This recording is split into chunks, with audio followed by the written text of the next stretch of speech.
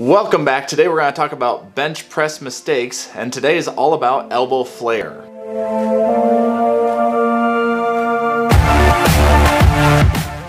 Elbow flare on the bench press isn't necessarily a bad thing um, so long as it's being used correctly.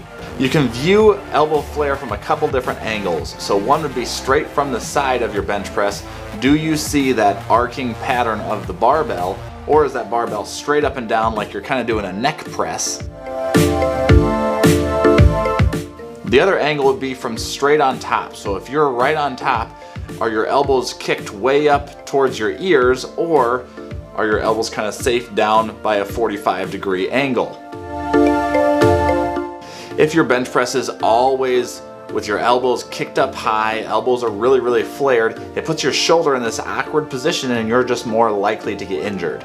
So assuming that all other factors in the bench press are the same in that you have shoulders packed, feet are grounded, um, as you're coming down, you are going to touch down somewhere between your lower chest to mid chest and come back towards lockout over your shoulders.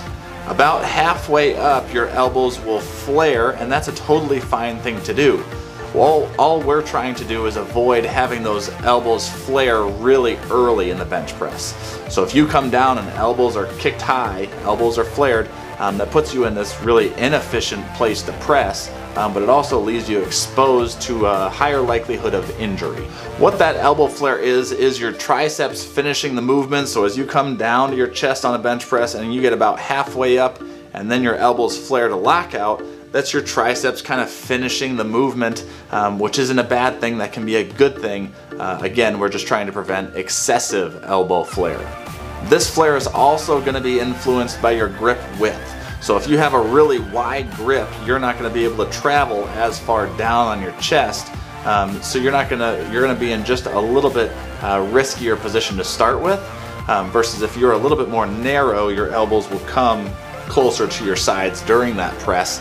Um, so you know it's not not going to look the same from person A to person B, um, but you're just trying to avoid excessive flare. So in the bench press, try to avoid tons of excessive flare if this is your issue. Maybe narrow your grip just a tad, lower that bar to around your mid to low chest, and then halfway up that flare is cool, um, totally fine, but we want to avoid that completely vertical uh, bar path where you're almost bringing it down to your neck. Um, that kind of puts you in a position in your shoulder uh, to be inefficient and it's injurious where um, you could just strain something and uh, you're not really powerful, so why would you perform a bench press that way? So that's today's mistake. Um, tune in for more coming soon. Rapid Fit